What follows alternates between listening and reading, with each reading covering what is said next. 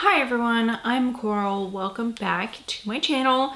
I'm here with another end of the year video where I talk about some of the goals that I had for myself, kind of. This one is concerning the books that I set aside as books that I thought would be five-star reads for me at the beginning of the year. These are my five-star predictions. There was 10 of them, and let me tell you what they were first. So I had A Nest of Nightmares by Lisa Tuttle, The Road by Cormac McCarthy, The Shoemaker by Flora Rheta Schreiber, Salvaged by Madeleine Roux, The Loop by Jeremy Robert Johnson, Jurassic Park by Michael Crichton, No Exit by Taylor Adams, The Descent by Jeff Long, The Cipher by Kathe Koja, and Gideon the Ninth by Tamsyn Muir. Now, last year I did really good and I read all 10 of my books. And this year I did pretty good. Um, there was one book that I have left and really, if I really pushed myself to do it, I know I could finish it by the end of the month, but we've got only a couple days left and unfortunately I just don't think I want to push myself to do it because you know it's just it's just a made up thing I made for myself you know I don't want to stress myself out because I'm in the middle of like a book. I have like 200 pages left in that. And plus I have two arcs that I really need to get to that I forgot about because they were on my Kindle and now I really would like to finish those out by the end of the year. So so, A Nest of Nightmares by Lisa Tuttle. This is a short story collection that was reprinted by Valancourt Books, and this one I just didn't get to this year, and that's okay. I read nine other ones, so I don't know if that would have been a five um, star prediction, or it was a prediction. I don't know if it would have ended up being five stars for me. Anyways, on to the next book, The Road by Cormac McCarthy.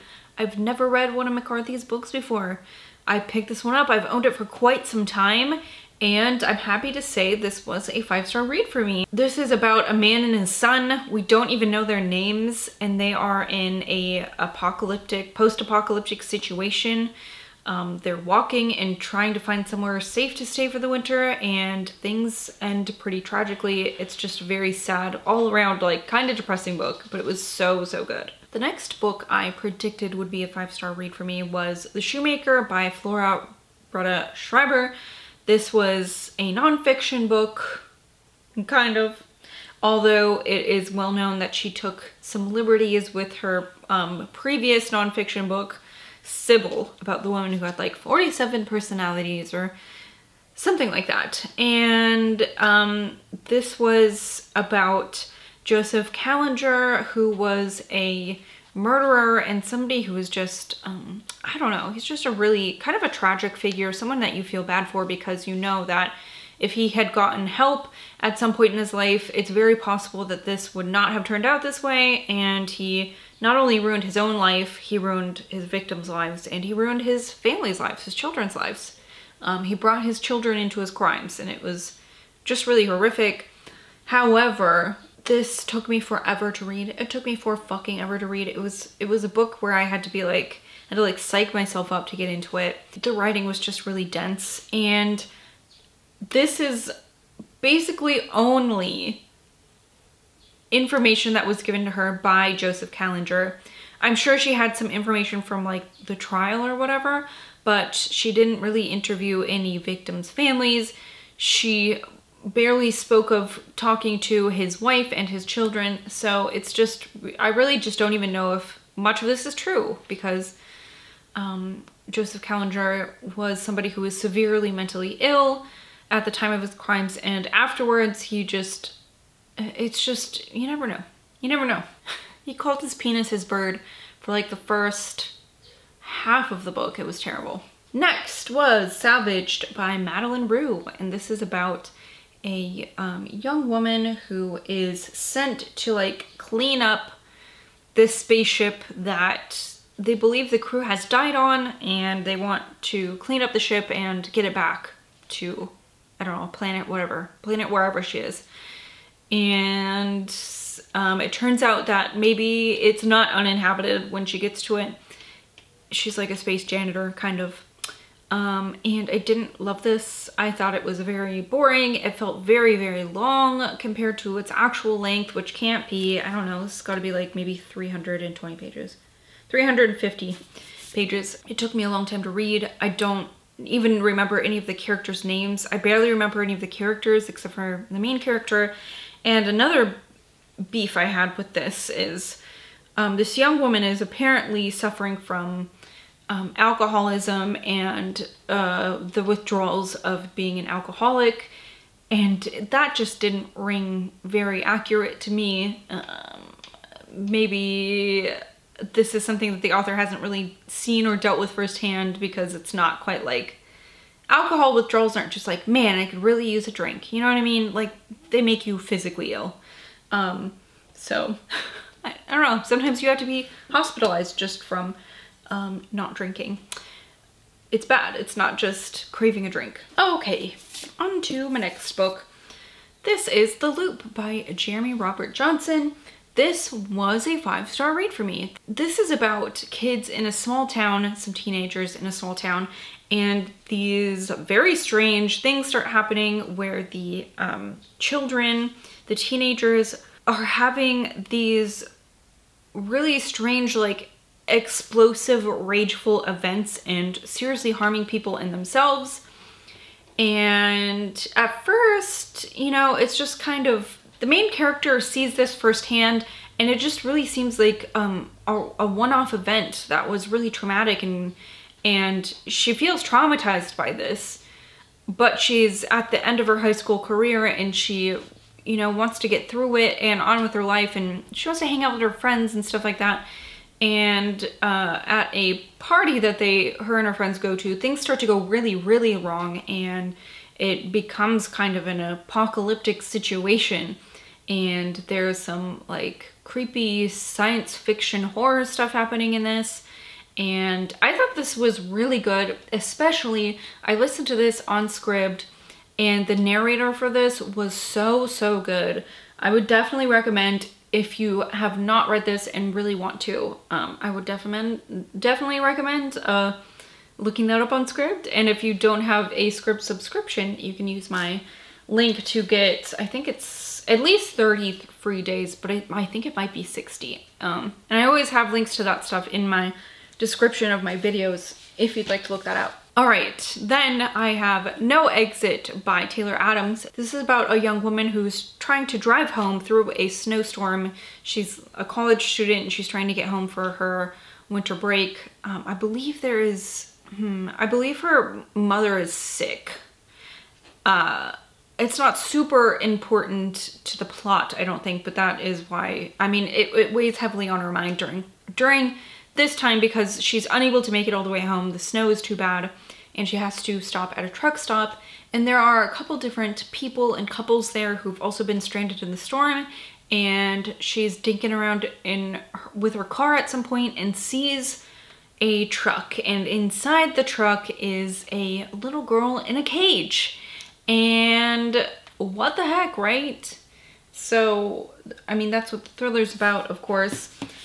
All in all, I thought that this was interesting, right? Uh, but not something that stuck with me. You know what I mean? I mean, there are many thrillers where it's like, I'll never forget that ending, or this was so unsettling, but I thought that this one was pretty much just run of the mill. It was okay, it was an enjoyable read, but nothing I think I'd even like recommend to people really. I mean, not that it was bad, but if I'm gonna go out of my way to recommend something, it's gonna be something that I really, really loved, and that just unfortunately wasn't No Exit. Next on my list was Jurassic Park by Michael Crichton.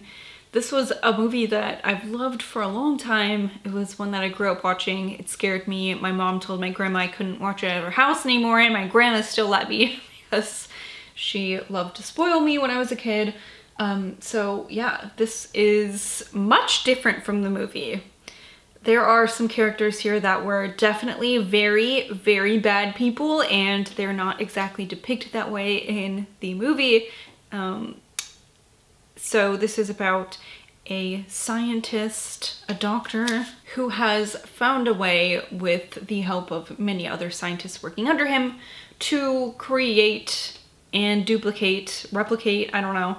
Um, they've brought back to life dinosaurs and they've made a incredible park, an amusement theme park sort of to make money and display this. And really it is about making money to um, Dr. Is it Dr. Hammond or just Mr. Hammond? I, I can't remember now, but uh, basically he's a bad guy and the checks and balances weren't heated and things have gone terribly wrong in the park.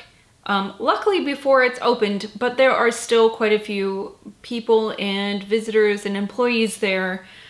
And man, it's just, it's so good. The, the like fake science in this is so believable and there are fun graphs and things like that in here if I can find one. Such as this. So it really makes it um, kind of an interactive um, book at some points because you can look at this like data that they have and it's just really fun.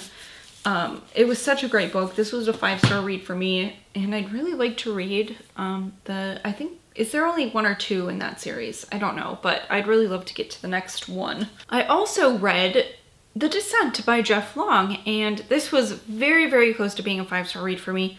I'm not sure if I talked about it. I don't think I really talked about it when I reviewed this book, but it wasn't quite a five-star read for, there was mainly two reasons. And uh, this book though is about, is about these humanoid subterranean creatures that have been popping up on the surface of Earth, some of them for hundreds of years, right? And we've created these myths surrounding them, but now it's happening more and more frequently and people are having very strange experiences with these things and eventually the government gets in on it and we find out that there is just a large population of these subterranean creatures living in tunnels under the earth. We end up calling them Hadals um, because the Hadal zone is the deepest um, most unknown part of the ocean, and these are very deep dwelling unknown creatures. So there's that, and then there's this plot where there are expedition teams going through these tunnels. Some of them go under the ocean even, like it's so far underground. It's um, really interesting. And then there's also this subplot where these group of scholars are together and they're thinking that with the discovery of these creatures that they might be able to link that to a real, I don't know if person is the right thing, but a real creature that is what's what the myth of Satan was based on. And that was so interesting to me. It was just really unlike anything I've ever read before. The thing is, is that um, the reason I didn't give this five stars is two things. One was that there were many times where I felt like the writing was purposely vague and I just had to go back and I had to read certain excerpts over and over again. Like I couldn't tell if it was me being dumb or if it was the book being too smart for its own good. And the other thing is, is that there is a character here who um, is a nun and there's just this very white savior thing about her um, in the work that she did before and also the work that she's doing on this expedition where she's treating the people she's worked with in Africa and now these underground Hadals like uh, they must be stupid because I don't know because I don't know there's just a white savior thing about it. Like a white person comes in and they're the smartest and the best and they know better and they're going to save everyone kind of a thing. Um, and I didn't, I don't know, it wasn't super egregious in my opinion, but it was definitely there. And that is me as, you know, another white person. I don't know if I'm being overly sensitive to a population who might not think that that's a big deal, but it was there and I thought it was pretty uh, obvious Next is The Cipher by Kathe Koja, and this is the first of her books I've read. This has a really, oh man, it really was kind of like The Descent, unlike anything I've read before. This is about a young man named Nicholas, and a woman he kind of pines for the entire book named Nakota. Basically, none of the people in this book are really likable or redeemable in any way, which is kind of what makes it more interesting, I think. Um, but basically, there is this strange hole in the storage room of the apartment that Nicholas lives in, and his friend Nakota really becomes obsessed with it. And on accident, one day, Nicholas, his hand gets put into the hole, and when he comes out, there is like a black hole in his hand. I just, boy, it, like I said, it's unlike anything I've ever read before. And I don't know if I loved the book, but I thought it was so interesting. It took me a really, really long time to read, which always kind of, I don't know, I just have a hard time sticking with books for that long, especially if it's a short book. But I thought her writing was so interesting and the plot was so bizarre and I'm glad that I finished it, but I don't think that it is one of my favorite books ever. But I think that this might be a book that every reader of horror fiction should read. It has great body horror. It's got such an interesting idea and there are very interesting relationships between the people in this book and I don't know, it's not my favorite, but it was really such a trip. And then last but not least is Gideon the Ninth by Tamsyn Muir. This is the beginning of a um, series.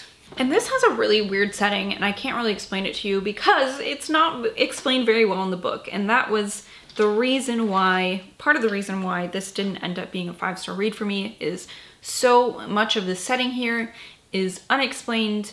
I wasn't able to visualize it and it made it really hard for me to know what's going on, um, which is really important, I think, in this book. This is about these women on, um, they're from the ninth, the ninth house, and they're the last house, so there are eight other houses, and I believe that all of these other houses are actually on like different planets. And then they all get invited, the heirs of these houses, they all have a champion, and Gideon is chosen very quickly as the champion for her house, even though she's not really been trained for it. Uh, so they go, all go to, I don't know, do this kind of a contest on a different planet. It kind of ends up being a murder mystery.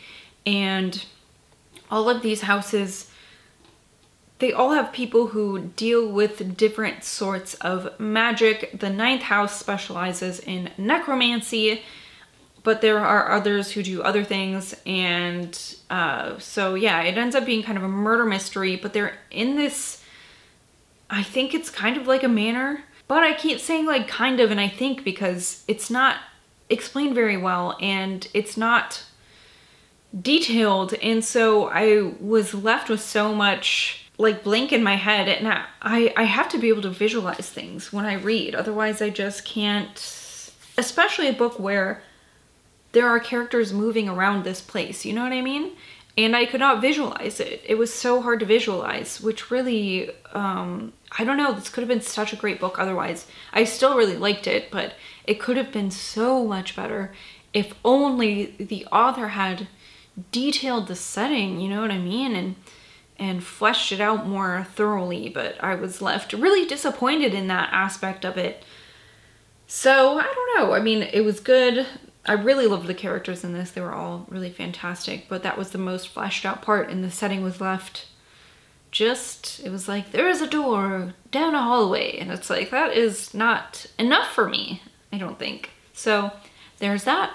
It was a pretty good book, but it could have been so much well, everybody, those were the 10 books that I attempted to read that I thought would be five-star predictions. How many were five stars? One, two, three five-star books out of the bunch? That's pretty good. I think last year I also had three, so I mean, not all of them were flops, but will there ever be a year where all of them are five stars? I, I think probably not. Never. Ever, ever. Anyway, I hope that I can convince you guys to pick some of these up because some of them were really fantastic. I'd love to know if you read any of these and also, if you had any five-star predictions that were actually five-star rates for you. That's all I have for you today. Thank you all so much for watching. I will see you later. Goodbye!